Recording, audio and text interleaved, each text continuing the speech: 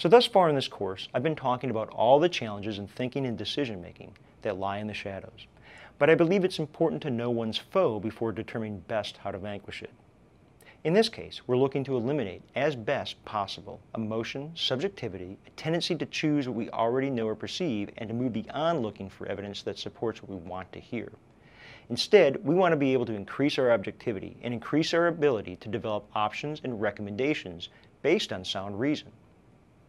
The first technique I'll cover is effective in supporting critical thinking, problem solving, and decision making. It's called the eight step decision making or problem solving process.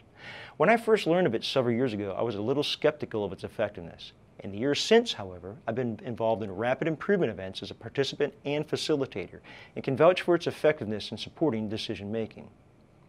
The technique is linked closely with another decision tool, the OODA loop, which stands for Observe, Orient, Detect, and Act. The OODA loop, also known as the decision cycle, was originated by Colonel John Boyd, a military strategist. Combined with the eight-step process, you have a great framework to guide your thinking and decisions. The eight-step process looks like this. In step one, you clarify the problem. In general, we're faced with four types of problems. Something is broken, how do you fix it? Is there opportunity to make something better? If so, how do you improve it? Why did something happen? Find the answer. A new initiative will be implemented, and you need to make it happen and mitigate or handle any problems that come up. It's critical to get this step right. You don't want to invest time and energy solving the wrong problem. Recognize the correct problem and be sure it's completely understood by everyone who will be involved in developing the solution. State the problem by developing a problem statement that answers the questions of what, where, when, who, why, how, or the significance or impact if it's not solved.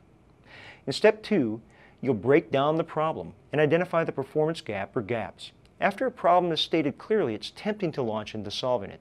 Don't. Instead, go into data collection mode. Begin getting data, visit the site, talk with people, and collect information. The simple act of understanding what data is relevant and germane to the problem you have will be critical to your solutions being evaluated at decision time. You also may look for performance gaps if you're dealing with a process. Are there opportunities for efficiency or effective adjustments? What isn't working properly? Finally, you might look for constraints or bottlenecks. Is there something not occurring that is holding up meeting a schedule or deadline? Step three is set improvement targets. Answer the question, where do I or we want to be? You need to understand where you want to be in order to understand what you'll need to do to get there. It also helps you to further refine any performance gaps or constraints you identified in step two. In step four, you'll identify root causes. You likely have heard of root cause analysis already, as it's a method of problem solving many of us are exposed to during our engineering education, looking for the underlying faults or problems, not just the symptoms or the outward end results. One helpful exercise to get to the root cause of any issue is the five whys. Simply ask the question why after each answer five times. Step five is develop options. Based on the information you've collected and analyzed for the problem you've clearly articulated, what options might be implemented to bring about the improvement target needed? Consider more than just one option. My rule of thumb is to have three options available. As you develop your options, consider the practicality and quality of the option and what will be needed to gain approval from decision makers. While options are good to have, it's also valuable to analyze the alternatives for effectiveness in solving the issue, the feasibility, and the impact.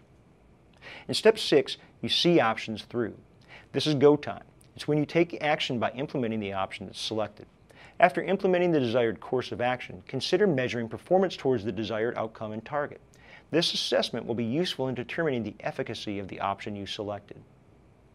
Step seven is confirm results and process. Nearly every action we take in the course of engineering work is a process.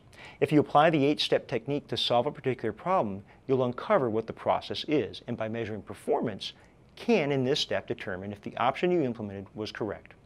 It's in this step that you reassess if necessary and go back to other steps to make adjustments. And finally we come to step eight, standardize the successful process. This is the most underappreciated and commonly skipped step. The time and energy invested to get to this point has value, so capitalize on it by creating standard operating procedures or SOPs for the process you just designed. The SOP becomes a script you can replicate across your firm or hand to new employees to help them onboard. It also will aid you in replicating the success you achieved in future similar actions.